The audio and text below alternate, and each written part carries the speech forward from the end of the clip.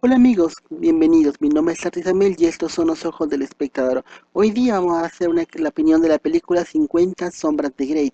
Esta película está basada en, la novela, en el bestseller erótico de la escritora británica E.L. James y mm, se estrenó el año, se estrenó el año 2015. Bueno, la historia es una historia que narra la historia de una joven llamada Anastasia, Anastasia Steele, que conoce a un multimillonario llamado Christian Great y surge todo este supuestamente romance, pero poco a poco se va transformando en una relación sadomasoquista entre, entre la inocente Anastasia y el millonario el, millonario controlador y, y, y, y sádico, se puede decir en algunos términos.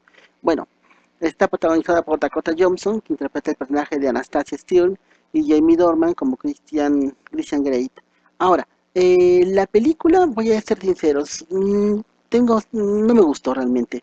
Yo pensaba que sería, tal vez podría, como dicen, no me gustó para nada la película, lo siento mucho, no me gustó, el, argumento, me parece de lo más tonto, la historia, mmm, bueno, supuestamente es una, es, una, es una novela erótica, pero de erotismo no tiene absolutamente nada.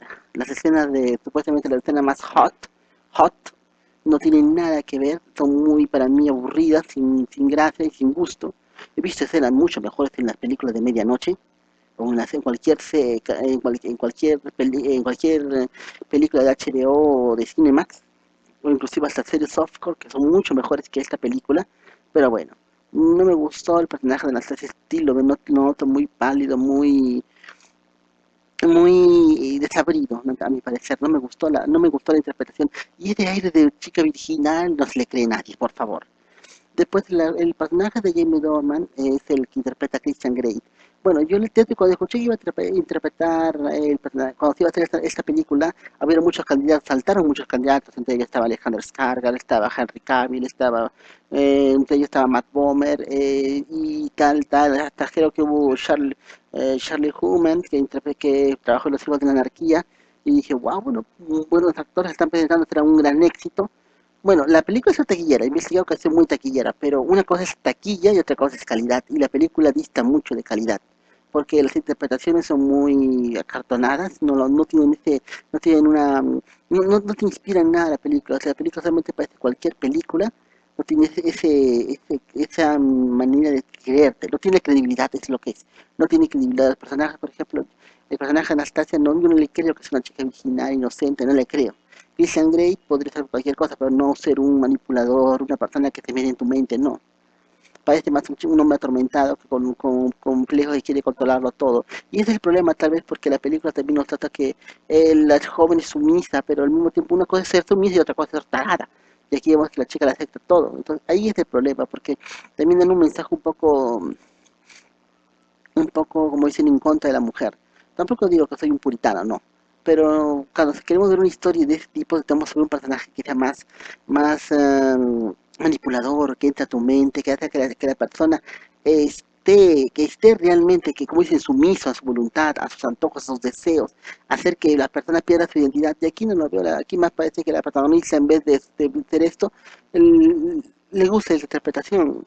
Bueno, me encanta la interpretación de Jamie Dorman, no me gustó mucho su interpretación y eso que yo tenía muchas esperanzas en él, ya que he visto sus participaciones en la serie de Fall, en la serie británica junto a, a, a la actriz Julie Anderson de Expedientes X y me pensé que iba a ser un gran papel. Bueno, el actor es bueno, el chico hace lo posible en esa serie le puesto un buen papel de una serie, pero en esta ocasión, en ese personaje realmente no, no tiene esa interpretación, ese, ese gusto, esa fuerza. Lo único bueno de la película me gustó que tiene buenas canciones, buena música, no lo puedo negar, tiene buena banda sonora y uno que otros mmm, detalles en lo que son técnicos nada más, pero no también hay algunos actores que pasan sin pena ni gloria ahí, solamente se concentran en Anastasia y en Christian, pero no hay una, no hay qué, qué le pasó, qué, por qué es así, bueno, sí nos explican algo leve, levemente, que él estuvo con una mujer mayor y todo eso, pero nada más, no explican que que lo que pasó, tú, quiénes fueron las, las, las uh, jóvenes que dieron antes de Anastasia, y muchos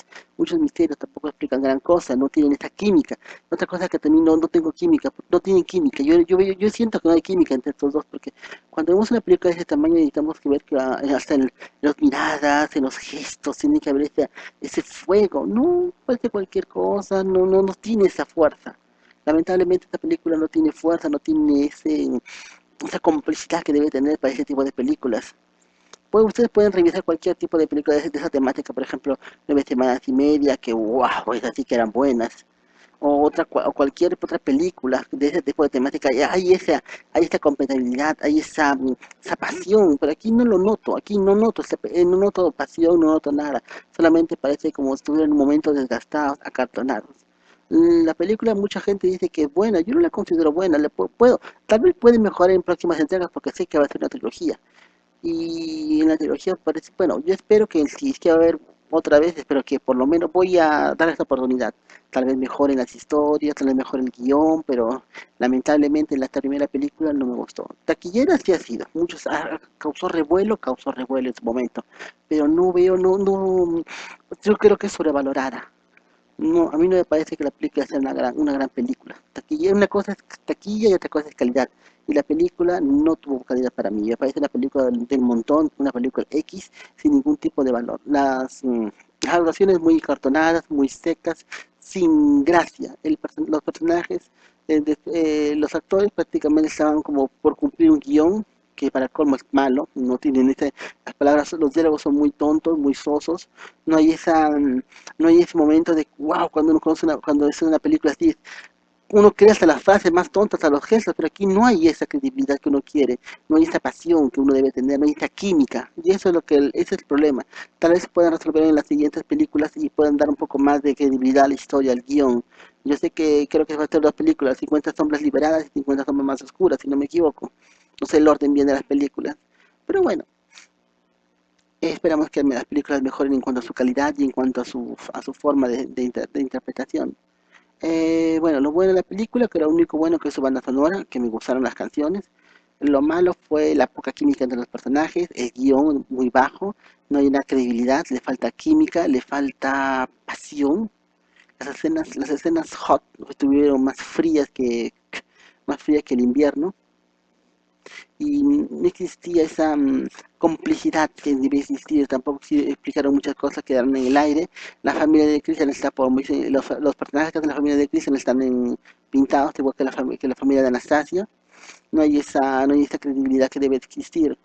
La película del 1 al del 1 al 10 yo le califico solamente con un 5, con las justas, 4,8 para ser sinceros no llega ni a 5 porque es mala, lo siento mucho, la película es mala, mala, mala.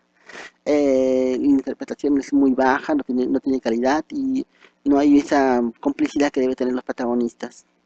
Bueno, esperamos que la mejoren para las próximas eh, para las próximas entregas y nos tal vez den un buen producto un buen, o mejoren, porque toda película bien tratada se puede mejorar, todo guion bien escrito, bien narrado, puede mejorar. Ahora, bueno amigos, esto ya es mi crítica de 50 sombras de Grey. Me despido, gracias por todo. Eh, si te gustó el video, dale like, coméntalo, compártelo con tus amigos, visita nuestras redes sociales. Mi nombre es Artemel y el tan de espectador. Hasta la próxima y gracias por todo.